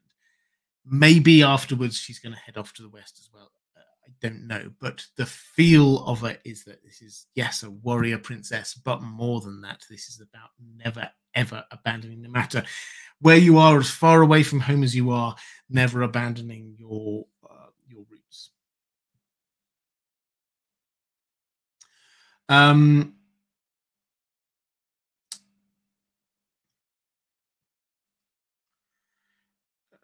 question from let's have a quick look. Cloaked one. Um, picking up one for Mattia Dominique saying, How would Nymeria act differently from Doran if she was in his situation? Assuming she had a brother and sister who died and three kids as well, uh, if she had Myrcella in Sunspear. Well, we don't know because she's not um, she's not in that situation. I think that the the difference between Doran and Nymeria appears to be that Nymeria wanted to create a safe place, a stable uh, position for herself, for her family, for her people, and did that. She created that in Dorne. Nothing was going to get in her way. Once she created that, once she got that, she was actually content. She didn't have any particular need to expand beyond where she was. She she, she ruled for quite some time, um, having established her new place, her new home, without the need to go and invade anywhere else. That is different to Doran. Um, uh, Doran is seems to have um, two things going on. The first is this restless desire to have power across the Seven Kingdoms through marrying into the Targaryens. And the second is this need for revenge on the people who caused his family great pain. He doesn't do. Uh, we see it in Oberyn, um, uh, the Red Viper, who actively goes out there, and we see it coming out all over the place. How much he hates the Lannisters, how much he's after vengeance and justice. Doran feels the same, but he comes out in political machinations. And that again is different to Nymeria. Nymeria, we never see her. I mean, maybe she did. We, maybe it's not recorded, but we never see any hint that she thinks, "How do I get revenge on the um, people who have wronged my family and my people? Uh, how do I get revenge on the Valyrians?" She seems to have just been eminently pragmatic and says, This is a fight we can't win, so I'm moving on. That seems to be where she's at. She seems to have reached the point says, Dorne, this is safe. I don't need to go any further. Eminently pragmatic. I'm stopping here. Every time she landed somewhere it wasn't working, she moved on. She seems just very um although yes she was this great charismatic leader she actually seems very grounded very not wishing to push beyond the boundaries of what is reasonable and practical. Uh, when you get doran he appears i mean perhaps they're polar opposites perhaps that's what i'm talking myself into is that she appears to her legend is that of this great uh, warrior princess but in reality she's very prudent and pragmatic Doran's reputation is the opposite of being this great political pragmatist, but in reality, he's very ambitious and wanting to uh, to sort of uh, extend his power all over the place. So yeah, maybe they're maybe they're opposites. Um, uh, Richard McCarthy saying, "Wow, the man is still streaming. this is some hardcore Song of Ice and Fire nerding." Uh, well, thank you. Yeah, I do. I, I go on until I've answered um, as many questions as I can. All my voice gives out. Um, uh, Ian Kaplinsky saying, "Do you think George R. R. Martin will take any fan theories into his writing and intentionally subvert them? I can see him enjoying that. If so, which theories?" Um, I mean, I can see him enjoying it, but I think he he is deliberately insulating himself against them now. It's um, there are some times when you know people do put things in front of him, but now he deliberately does not react to things uh, for fear of giving away any bits of uh, plot. But um, um, I don't think, I don't think. Well, I mean, he has a very uh, cheeky, sometimes silly sense of humor. Um, so yeah, I mean, I, I would love the the idea of like some absolutely crazy theory, um, him just sort of like having somebody mention it randomly and then move on would appeal to his sense of humor. I, I have no doubt, but I do not think that this is going to um, affect the way that he writes the story because the way he writes it is allowing the characters and the plot and the situations to drive the action. Um, where he gives nods to things in the outside world, it's more often names of things, um, doing a nod to something else by by having characters named after the Three Stooges or, or uh, having somebody called Kermit. Uh, these kinds of things that amuse him uh, and nods to things from writers that he hugely loves, rather than actual huge bits of plot. Um, having uh, having a quick flick through now just to see if there's any more quick questions. Um, uh, reflective rambling saying, I actually don't buy the ship burning was just nope, no more. A fleet is a powerful tool. I don't know what else was going on, but I suspect something lost to history. Yeah, it's entirely possible. Um, the in terms of her, um, in terms of what we're told, this is this is the story, so that we don't have anything else to to hang on to. As you say, maybe something else was lost to history. I think as I said, this is a nod to Tolkien, and I think that's what he did. And I think that he could tell the story with doing a little nod um, and then keep on moving. It doesn't affect anything because a lot of Dorne is inland rather than coastal. So, uh, in terms of the settlements, uh, so actually having a fleet isn't going to be, yes, it would help in places like Starfall, maybe.